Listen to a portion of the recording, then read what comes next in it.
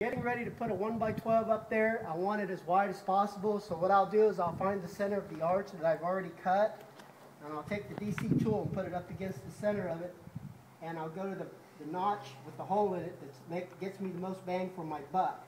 And I'll find the center, and as long as you put your DC tool up against the bottom of the curve and keep pressure to the outside, you can get a nice, perfectly parallel arch.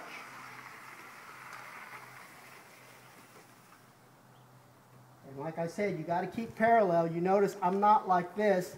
I'm running that arch parallel with it. So it's exact same uh, width all the way through. That's what I love about this tool. I can make my arches over my garage